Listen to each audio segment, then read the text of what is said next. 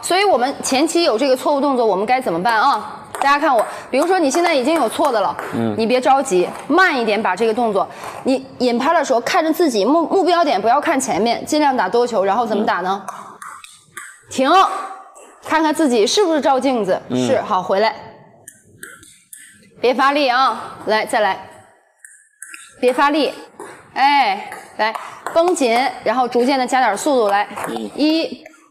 二、三、四，别发力，千万别发力。五、六、七、八、九、十。你看这十个有几个做的正确的？切记两点：一，别发力；二，毛病不是一下改的。我打个比方，你现在是压拍儿，然后我出去我又翻腕儿，你只能要不先改压拍儿，翻腕儿让它继续翻，先改什么？先改不压拍的问题，压拍改好了，我再去改翻腕你不可能又不压拍又不翻腕没有效果，改不过来。明白了。我小的时候那改动的老难了，一个问题一个问题突破，先找到主要矛盾。找到之后改掉以后，那次要的、无关紧要的都无所谓，先解决影响你上台的东西。那我觉得这个拍子晃动就是影响你上台的，所以你第一个关注点，无论你前面的动作什么引拍近了、远了、拍型压了都不管，管的是什么？我出球这一下，手腕晃没晃、掰没掰、压没压、甩没甩，先解决这个动作，然后慢一点，看，或者两个人对打啊，你先怎么样？轻一点，先把这个动作哈。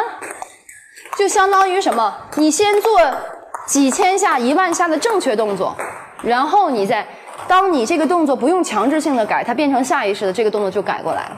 所以我们在打的时候，第一个啊，我说了，反手一定在在腰腹前侧击球；第二个，挥到右肩；第三个，照镜子，不要让自己的拍面太晃。看，一、二、三，重心下来；四、五，注意节奏，高点七，别抢，找球。那好，那球友问了，我现在反手攻攻的挺好了，什么时候练什么技术？第二项练弹击，弹击，练啥？该练弹击了啊！攻球攻好了以后，可以开始练一、二、三、四、五、六、七、八、九、十，我可以开始练弹击了。可以开始练发力了。练完发力之后，直板演示也可以。练完弹击以后，再弹两个吧。嗯。它是一样的，球友们，只是拿直板和横板做动作而已。嗯。它们直板和横板最大的区别就在于手指手腕。我可以一、二、三、四、五、六、七、八、九。十，练完弹击，弹击的时候是不用手腕的，然后开始练丝。那么好多人都在问小韩老师，反手拉有没有？有，用不上。那国外运动员都被咱顶成啥样？现在也都改成反手撕了。对。对吧？以前他们也曾经挣扎过在中台拉，嗯，没有用，他他被淘汰了，太慢嘛。因为反手结构在球球台球台前侧，对，速度就压制你了，嗯。所以反手攻球的进阶是反手撕，撕球的动作要领呢会比较难，因为你首先得会摩擦，啊，嗯，会摩擦，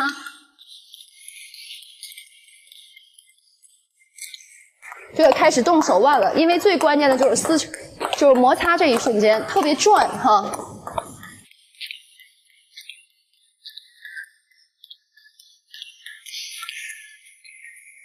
对，这就是反手撕球。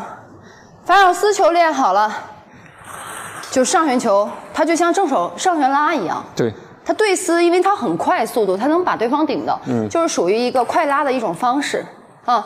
然后呢，你反手攻球练什么时候可以开始练反手拉呢？就是你觉得你一定是先练正手拉。反手拉的难度在下旋球里面，虽然它站在这儿，但它也很难拉，容易被顶住。被顶住。所以刚开始所有拉球里面，球友们不要怎么了，不要怎么练呢？比如说我上来就开始挥动作，你发下旋，下旋啊，全是这效果。刚开始学下旋，嗯，对不对？对对对。感觉还没把 做出什么反手攻球的。放大版，然后还拉不过去，我们刚练拉球的时候，你做不好这个动作，所以你不要这么练。你怎么练？先练手指手腕，都不要用什么，不要用大臂和前臂，就练这一下哈，就练摩擦这一下哈。然后你会发现，你再往起，我啊，我再一夹手臂哈。马上就进阶版的了。不是，他一下就会了，这不就是拉球吗？你省去了一两年的时间去琢磨摩擦了，对，这就是秘籍。秘籍。